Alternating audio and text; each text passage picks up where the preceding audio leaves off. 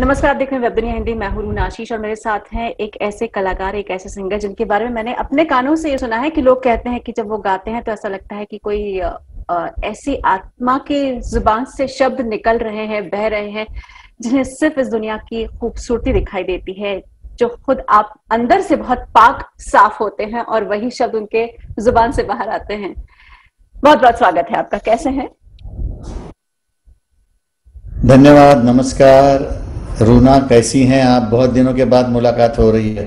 वो भी ये इंटरनेट के ज़रिए ऑनलाइन के ज़रिए। जी सुरेश जी मज़ा नहीं आता वो वन ऑन वन बेसिस पे बात करने की इतनी आदत रही है आपके साथ। बट चलिए अब समय यही मांग करता है। तो समय के साथ चलेंगे। बिल्कुल। लेकिन इस समय के साथ लोगों को शांति देने के लिए भी आपने एक बहुत खूबसूरत प्रयास किया है। एक अपने तरफ़ तरफ़ से संगीत की दुनिया को और दुनिया भर को शांति देने का प्रयास किया है। उस चैनल के बारे में जानना चाहती हूँ। ये मैंने अभी ये कोरोना के इस महामारी के टाइम पे जो सबको घर पे बैठना पड़ रहा है और सारी दुनिया घर से ही काम कर रही है। तो मैंने सोचा क्योंकि पिछले डेढ़ साल से सारे प्रोग्राम्स रिकॉर्डिंग्स रिकॉर्डिंग्स फिर भी थोड़ी थोड़ी होती थी। फिर वो अभी बिल्कुल एब्सोल्यूट लॉकडाउन की वजह से वो भी बंद हो गया। तो मैंने सोचा कि अभी ये सुबह हमारा रियाज तो होता ही है। मैं, मेरी बेटी, मेरी वाइफ हम लोग सब रियाज करते रहते हैं अपना अपना तो मैंने बोला कि बाकी के वक्त में क्या करें? तो चूँकि मेरा अपना स्टूडियो भी है तो मैंने सोचा कि क्यों नहीं लोगों के लिए हम लोग ये जो भक्ति का जो जज्बा है, उसको क्यों नहीं हम लोग आगे करें? तो मैंने सुरेश वाड़कर भक्ति नाम से मेरा अपना चैनल शुरू किया है, जो YouTube पे आप लोग देख सकते हैं, जिसमें नए नए कॉम्पोजिशंस नए नई भक्ति गीत भजन, मंत्र, जो भी डिवोशनल चीज़ें हैं वो मैं इसमें रिलीज़ करूँगा, जिससे भक्ति की भावना लोगों में जाग पड़े, क्योंकि इस वक्त एक ईश्वरी है जो हम लोगों को बचा सकता है। इतना खराब समय आया हुआ है। तो उसमें लोगों को थोड़ी मानसिक शांति मिले, उनका टाइम अच्छा गुजरे। और मुझे तो हमेशा अभंग, भक्ति गीत, भजन गाते हुए लोगों ने सुना ही है। फ़िल्मों के अलावा तो मैंने सोचा कि ये हम लोग करेंगे। साथ में आजीवासन भक्ति भी चैनल शुरू किया उसी दिन, जिसमें मेरे स्टूडेंट्स है जो बहुत अच्छा गाते हैं। उसमें से कुछ हैं जो बहुत अच्छा कंपोज भी करते हैं। जो आज का जो गाना है मैंने, मारुति स्तुति जो है, हनुमान स्तुति, वो मेरा एक स्टूडेंट है, उसने कंपोज किया है, पद्मनाभ गायकवाड़। बड़ा होनहार बच्चा है और बड़ा ही टैलेंटेड है और बहुत खूबसूरत उसने इसकी तर्ज बनाई है। भीम रूपी महारुद्रा, वज्र हनुमान मारुति। तो इतना अच्छा लगा मुझे तो मैंने उसको बोला कि इसको मैं गा देता हूँ। तो पहला गाना जो है, वो वही रिलीज़ किया है इस चैनल पे हमने। और फिर आजीवासन साउंड्स भी एक चैनल शुरू किया है इसी के साथ साथ, जिसमें मेरे स्टूडेंट्स गज़ल, सूफी, गीत मॉडर्न स्टाइल के गाने जो लोगों को पसंद आते हैं, वो भी गाएँगे। मेरे स्टूडेंट्स गाएँगे, खुद कंपोज करेंगे। और मैं ये कहना चाहता हूँ कि बाहर भी जो गाने वाले बच्चे हैं जिनको हमारे इस चैनल से आजीवसन साउंड से हम लोग प्रमोट करेंगे, जो भी गाने की इच्छा रखता है और अच्छा गाता है, हम लोग उनसे पहले गाना सुनेंगे, फिर उनको सिलेक्ट करके उनको प्रमोट करेंगे। तो ये थोड़ा मोटा जो है, प्रमोशन का काम हम लोग करेंगे, जिसमें मेरे भी गाने होंगे मेरे स्टूडेंट्स के भी होंगे बच्चों के होंगे और जो भी गाने की इच्छा रखता है अच्छा गाता है उसको भी हम लोग लोगों के सामने लाएँगे। ये हमारा उपक्रम है ये हमारा मोटिव है इसमें। सुरेश जी आप के आवाज़ की जब भी बातें आई है एक एक से बढ़कर एक गाने आपकी तरफ़ से हमें मिले हैं। इन दिनों मुझे ऐसा लगता है कि कहीं वो ठहराव से कमी होती जाती है। आज के संगीत के बारे में क्या आपको भी यही लगता है? या सिर्फ़ मुझे ऐसा लगता है? एक वो जो नहीं ठहराव होता है आप आपके गाने चाहे देर ना हो जाए की बात हो या फिर आ, बहुत सारे आई मीन मैं एक एक नाम भी लेती जाऊँगी लगी आज सावन की फिर वो झड़ी है। बहुत ठहराव था। ये कहीं मिस करते हैं लोग। एक्चुअली क्या हुआ है? रूना की लोगों की ज़िंदगी इतनी फास्ट हो गई है। तो लोगों में ही वो थोड़ा सा ठहराव जो है उसकी आ, कमी हो रही है। तो ज़ाहिर है उसका न, न, क्या कहते हैं ना कि असर। उसका असर म्यूज़िक पे भी हो जाता है। बिल्कुल। तो मगर हमारे म्यूज़िक डायरेक्टर्स का ये ये ड्यूटी बनती है कि हमारी जो धरोहर है इंडियन म्यूज़िक की और हमारा जो इतना, क्या कहते हैं ना कि सुवर्ण खजाना है, सोने का खजाना है, उसको मेंटेन करना, उसको रखना, ये भी हमारे म्यूज़िक डायरेक्टर्स का काम बनता है। गायकों का काम बनता है। आजकल का गाना भी बहुत अच्छा है। बहुत टैलेंटेड बच्चे हैं टैलेंटेड म्यूज़िक डायरेक्टर्स हैं टैलेंटेड गाने वाले लोग हैं। मगर जो आ,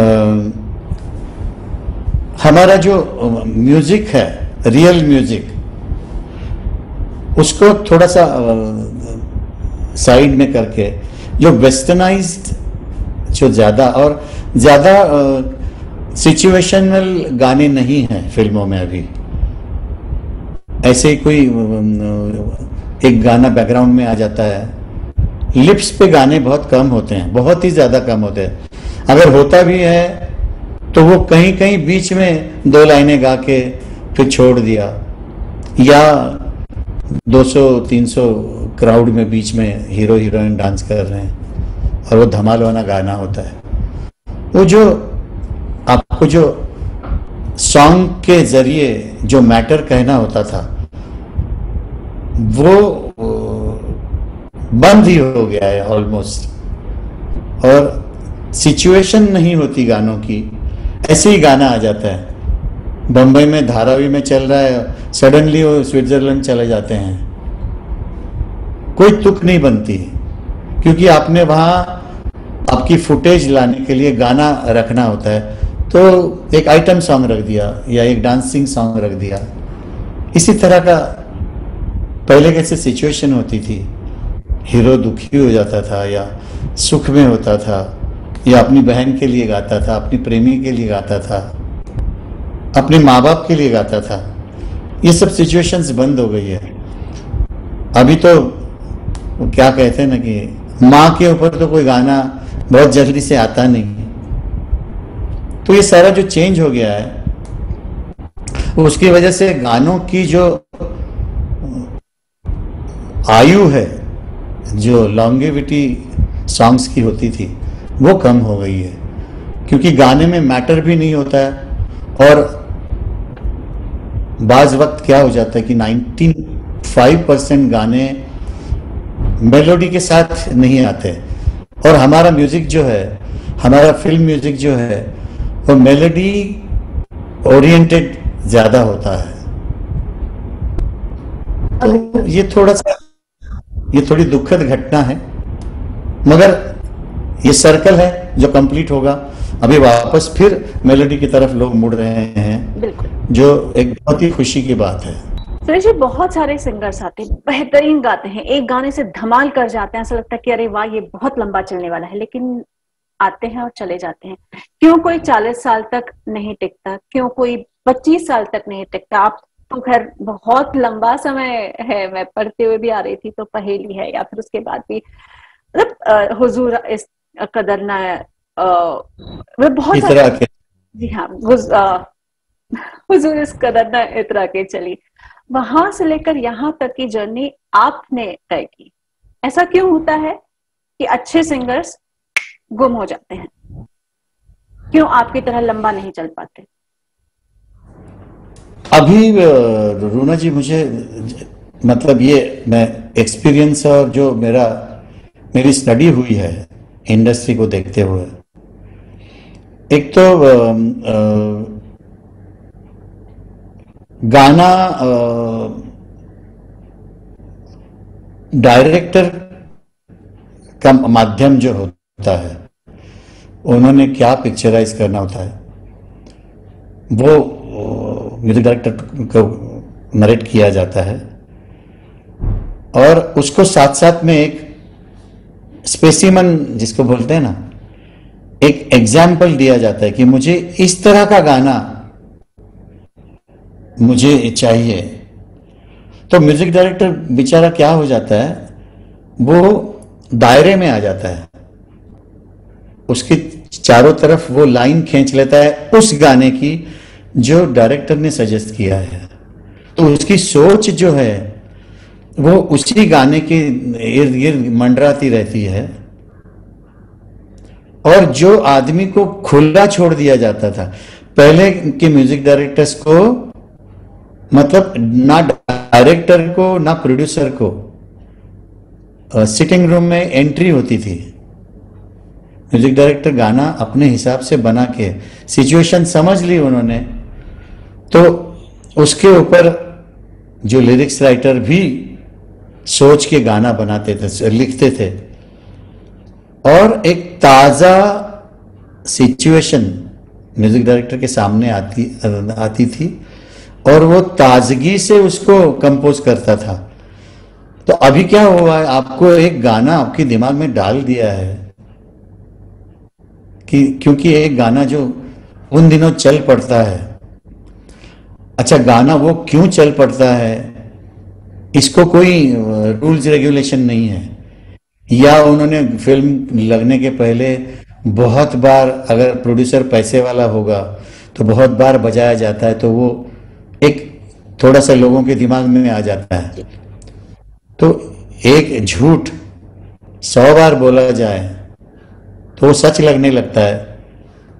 यही कहावत इसके ऊपर लागू हो जाती है कि एक चीज़ आप बजा बजा बजा के जो पॉपुलर करते हैं तो उसकी वजह से वो पॉपुलर हुआ होता है। ये गाने में कोई दम है या प्रोड्यूसर को या डायरेक्टर को अभी गिमिक्री वर्ड्स होते हैं ना गिमिक मुन्ना भाई मुन्नी भाई जलेबी जी। खाने की चीज़ें तो तक तो ठीक है। अभी तो गालियाँ भी आने लग गई है गानों में। तो लोगों के कान खड़े हो जाते हैं। अरे यार, इस गाने में गाली है, जरा सुन लेते हैं। तो इस तरह भी पॉपुलरिटी हो जाती है। जो पहले गाना सुनते हुए कि तो जुल्फ के साय में शाम कर लूँगा। सफ़र ये सफ़र ये उम्र का पल में तमाम कर लूँगा। ऐसे लगता है ना कि लड़, लड़की सामने खड़ी है। उसकी जुल्फों को देख के मैं गा रहा हूँ। तो सिचुएशन हो गई ना। तो सिचुएशन होती है उसके साथ जो उसको उसकी जान को मिलते हुए जो वर्ड्स हम सुनते हैं, वो इंसान अपने ऊपर लागू करता है उसको कि मैं ही गा रहा हूँ ये। अभी ऐसा नहीं है। तो ये गाना क्यों देते हैं? ये वेस्टेज क्यों हो जाता है? वेस्टेज इसलिए नहीं बोल सकता हूँ कि वो गाना बनाएँगे तो हम लोग गाएँगे। तो उसको वेस्टेज नहीं बोल सकते, मगर एक अच्छी चीज़ आ सकती थी वहाँ पर। उसकी जगह आपने कोई गिमिक, जो सो कॉल्ड गलत फहमी में आप देते हैं कि ये गाना मेरा चलेगा। अगर कोई म्यूज़िक डायरेक्टर इतना श्योर या इतना कॉन्फिडेंट होता कि ये मेरा गाना चलेगा ही चलेगा तो जो गाने डूब जाते हैं उनका क्या है? तो ये सबसे बड़ा प्रॉब्लम है। ना सिचुएशन है, ना अच्छी सोच है, ना डायरेक्टर्स ना प्रोड्यूसर्स उसको संगीतकार को खुला छोड़ते हैं या उसको सोचने देते हैं। एक कोई चीज़ उसके दिमाग में डाल के एक डब्बा भर देते हैं। उसमें फिर आपने क्या भरा है? काम की चीज़ भरी है कि मट्टी भरी है कि गोबर भरा हुआ है? आपको पता ही नहीं चलता है। सॉरी टू से बट जो दिमाग में मेरे इन चीज़ों के लिए आता है, वो मेरा बोलना धर्म बनता है, क्योंकि मैं अपने माई बाप जो सुनने वाले मेरे माई बाप है, उनको हमने उनकी इज़्ज़त के लिए, उनकी इज़्ज़त करने के लिए, उनके कानों में रस घोलने के लिए अच्छा ही काम देना चाहिए। और मैं तो ऊपर वाले से यही प्रार्थना करूँगा कि, कि ये सुबुद्धि जो है वो ऊपर वाला हमारे संगीतकारों को हमारे प्रोड्यूसर्स को हमारे डायरेक्टर्स को ये सुबुद्धि दे दे। मगर अभी स्पेशली अभी पिछले कुछ सालों में देख रहा हूँ अच्छे गाने आ रहे हैं। नो no डाउट तो ये सर्कल जो है पूरा हो रहा है। I'm sure, I'm sure. So अब हम अभी तो खैर सब मामला थमा थमा सा है बहुत हल्के से चल रहा है because of the COVID situation अगली कुछ लाइन कुछ पाइपलाइन में है कुछ आपके गाने फ़िल्मों में सुनने वाले हैं। कहीं कोई म्यूज़िक देने की आपकी बात चली है?